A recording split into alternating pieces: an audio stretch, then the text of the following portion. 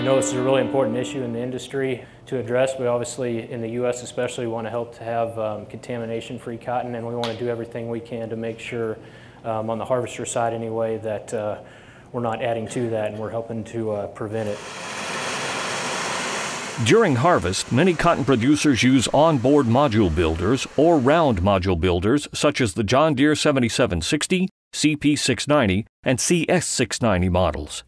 This new technology has helped improve efficiency, lower labor cost, and preserve fiber quality for cotton producers across the cotton belt. John Deere provides module staging instructions, ginning recommendations, and inspection and maintenance guides with their harvesters. John Deere also designed the Go Cotton app to complement their cotton harvesters.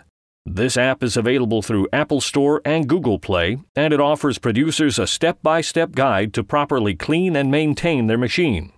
If you ever run into more complicated problems than the guide covers, always contact your local John Deere dealership. But when we get one even like this, we were able to haul it. If you had to try to get that cotton in the gin without getting any plastic on it, how would you do it? I mean, it's just not easy. We got, we do have a suck pipe. Some gins don't even have a suck pipe. Also, remember that communication between the producer and gin manager should always be a priority. If a module has an issue during harvest, inform the gin as soon as possible. This rule also applies for damaged modules. If the gin is made aware of damage on the front end, they can take the proper steps to clean up the module and prevent contamination.